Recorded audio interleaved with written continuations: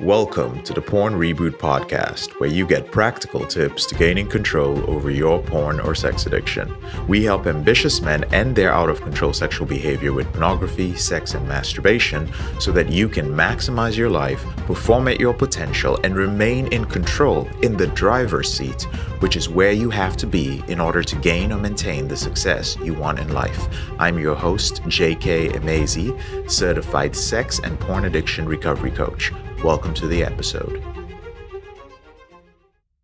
Today, we're going to talk about choosing the right mentors. I'm a big fan of mentorship. A lot of you guys know that. I truly don't believe I would be where I am in most areas of my life if I did not seek the help of individuals who had uh, walked that path before me.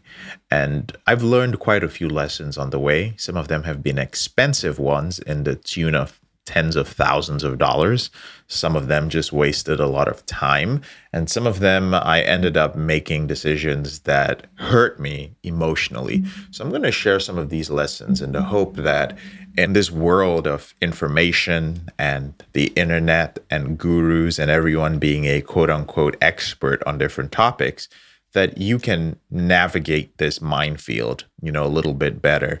One of the things that coronavirus COVID-19 did is that it forced many people to start working from home. It forced a lot of people to become freelancers. And for those of you who are on social media, those of you who spend a significant amount of time online, you've probably noticed the proliferation of all sorts of ads from people either showing, professing, or claiming rather to be able to show you how to make money from home or start a business or do this one thing or the other.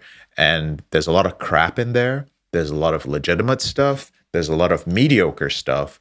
But this is relevant to you because a lot of men who are ending their out of control behavior are simultaneously looking to work on other aspects of their life, especially those aspects that atrophied or never got the chance to fully develop because your porn addiction basically robbed you of those years, of those experiences, and of those skills. My story is that I looked up to older, highly successful men as mentors, right? I tried to approach these guys and learn from them and kind of figure out their blueprint. Like, what were the things that they did which made them successful, either in their relationships, there were some guys who had just amazing physiques and were older guys and i was like man how did this guy maintain this all the way to his like 50s or 60s and he seems to be in like a really happy relationship. There were a handful of guys who were really great at dating. They dated beautiful women. They figured it all out. And of course there were the guys who were dealing with compulsive behaviors and they learned how to overcome them. My barometer back then was basically these men's material success. I didn't know any better. You know, I was very easily fooled by flashy things like, oh, yeah, this guy has millions in the bank and he has a perfect marriage and he helps people do this and do that. And bear in mind, I was in my 20s, very impressionable. But these days, there's some people who are really good at marketing out there. And, you know, they can make a huge impression on men who are in their 30s, their 40s, and their 50s as well. What has changed over the years is now I take advice from men based on their happiness and their lifestyle, not necessarily their material success, right? Of course, they have to prove to me that they actually understand their subject matter. And not only that, that they are talented enough or they are skilled enough to help me get from one point to the other, right? So they understand that I'm going to be the best expert at myself, but they can identify the roadblocks and obstacles that are in my way, just as I do with my own clients, and move these things out of the way. One of the mistakes that I made, and I hope that my brothers who are listening to this podcast do not make, is either looking for mentors who are way older than you, like they're too far ahead of you to actually relate to you, or looking to mentors who are much younger than you or who are your age, especially if you are in your 20s, who seem to have a higher level of skill or a certain amount of expertise in a certain area. Now, there are pros and cons to this. For the older men who you are looking up to, one of the pitfalls of following their advice is that it takes quite a while to get the full story. There's a lot of stuff that might have happened in their 20s or their 30s that they just have removed from history. Like they might make things sound like, oh, yeah, I was a self made man. I overcame this behavior on my own. You know, I did this on my own and I figured it out, and there was this motivation. And the truth is that there's really nothing like a self made man. Everybody was helped. I got a ton of help getting to where I am today. There's no way I could have done it on my own. The self belief was mine, the drive was mine, but the path, oh, I didn't know where the hell I was going. I had the ideal, I had the destination, but I didn't know where I was going. I needed to have people who had walked that path say, hey, hey, hey, hey, hey, hey, stop going off the path. Just come come back here. Yeah, I know, I know it looks better there, but come back here. Trust me, and here's why. But with the guys who are so far ahead, because you don't know what they did when they were your age, and that was like maybe decades ago, you're just going to take whatever advice they give you. You can't really relate to a lot of the things that they're saying right? On the other hand, when you listen to men who are younger than you, there's a lot of stuff that you actually cannot relate to, but you're forcing yourself to relate to it for one reason or the other. An example is when I was in my mid 20s, I was not qualified. Like when I was 23, 24, when I was going out there and meeting women, and when I got into my first serious relationship, rather, my only serious relationship, when I was at that stage, I was not qualified to give men advice on relationships. I really wasn't. I could give some decent advice by the end of my second year of going out and meeting women. I could give some decent advice on meeting women and hooking up, that sort of thing. But to tell a man what he should do in his relationship, I had no business doing that. But now there are a ton of people with podcasts and YouTube videos and all sorts of media who are young men who are 22, 23, 24 who might be very good at hooking up. Of course, it's very easy to ignore some of the obvious advantages that some of these individuals have. Some of these guys are well built, some of them are quite good looking, some of them come from really great backgrounds. And they have all these advantages working for them. Yeah, and they also have skill. It does require skill. However, they start giving advice and claiming expertise in areas that really they have no business doing so. They're just doing it because men will listen to them and in many cases give them money for that. If you are a man who's 37 years old or who is 39 years old or who is 49, who's 50, and you are taking advice on your relationship from a 23, 24, 25, 26 year old, you're screwing up. I had to kick a guy out from our group the other day, a couple of weeks ago, actually, because he came in sharing some link from YouTube on some kid who had a pretty, you know, popular following. And he was like, I highly recommend that you listen to this young man. He seems wise beyond his years. And I'm looking at the profile, the little profile picture of this guy posting, and he definitely has you know, he's he looks like he's got like a silver beard. And I click on it. I'm like, this is a grown ass grandpa, right? This dude, this dude is a grandpa. And he's recommending this guy's YouTube channel. Again, nothing like people can watch whatever they want to watch. My point is, this was specifically about success and relationships and staying off pornography for the long term. Yo, if you're a dude who's in his 50s and in his 60s, right? What is it that a kid, literally, because that's what I was, that's where I was as well. What is a kid going to tell you about that? Now, if you're trying to learn how to hook up, right? Sure, maybe he can teach you that. If you're trying to learn how to work out, yeah, he can teach you that. If you're trying to learn a specific skill set that he has, yeah. But there are certain things that only age and experience can bring and you want to be able to be discerning about those things. A lot of men don't do that. If it's flashy, they follow the advice. And some of you are probably going to still keep doing that. That's absolutely fine. Understand that a lot of younger men have not really been slapped around by life. Some of them have, there are exceptions to the rule, but you know, getting married, going through a divorce, losing a close loved one due to old age, losing a business, going through bankruptcy. A lot of them have not experienced these things and they are purely going off that enthusiasm of youth. When you think that, remember, those of you who are over 30, remember how you were when you were in your early 20s, sometimes even in your mid 20s? You thought you were going to live forever. I remember it like it was yesterday. Like I literally felt invincible. I was like, I can do all kinds of crazy shit. I could take all sorts of risks.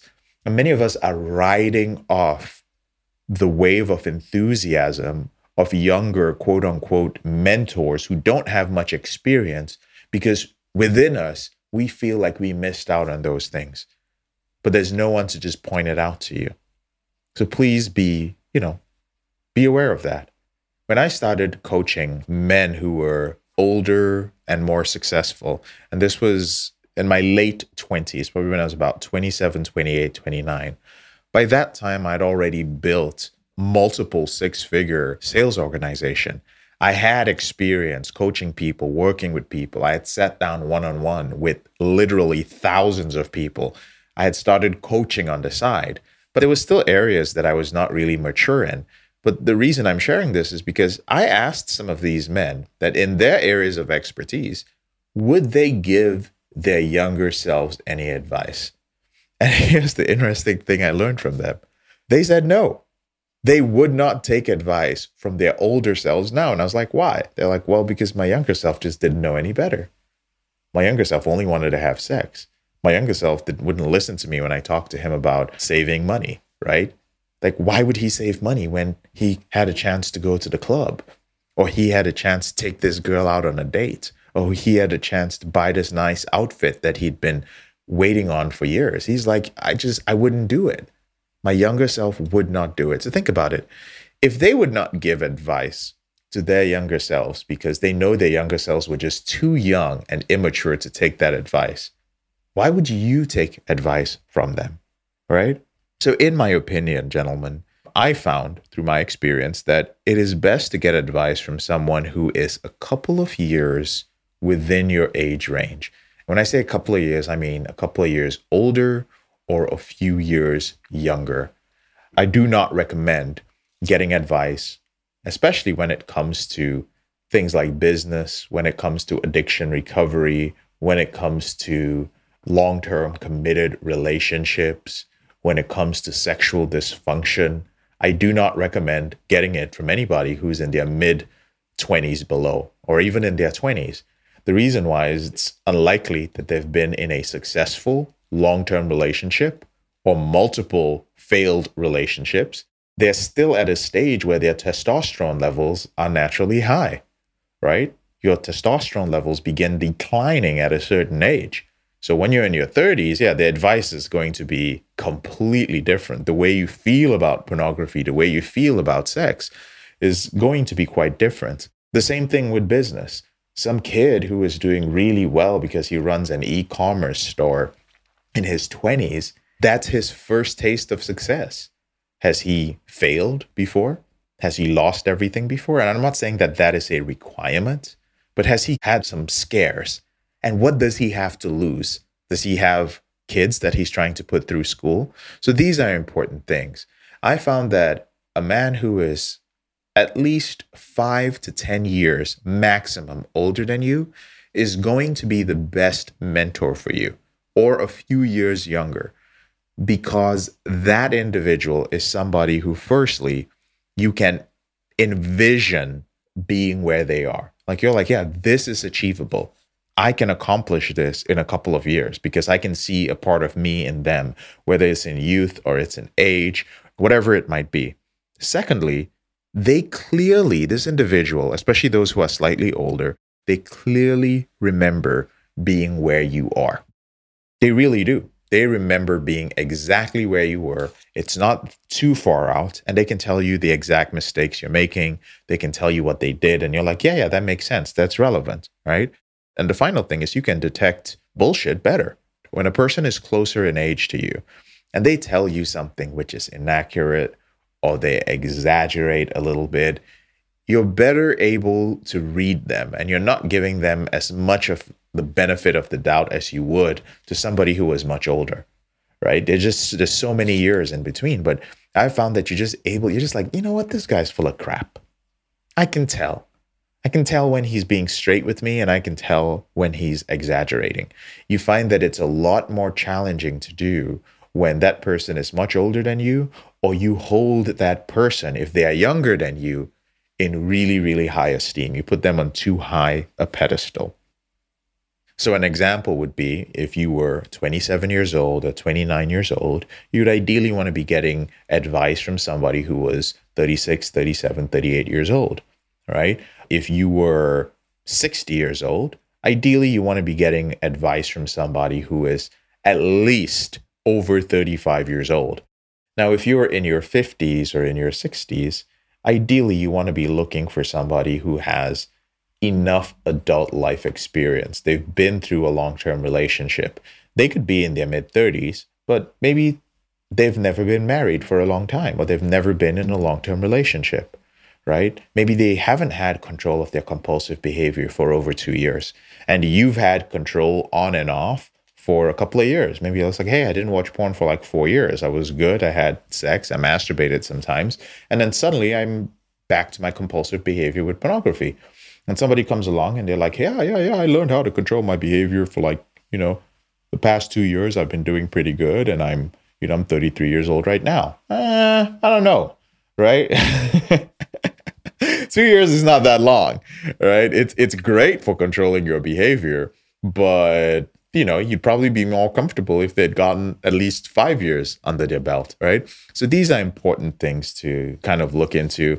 The reason why I wanted to share this is because, first of all, I'm seeing a lot of people sharing different links in different groups that we run. And I don't click on people's links. I don't have much interest in listening to other people. We're so busy on what we're doing right here. But from the little things I've seen, I've just seen young guys taking advice from guys who are older than their fathers.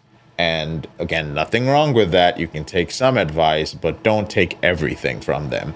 And I see older men taking advice from guys who are just way too young.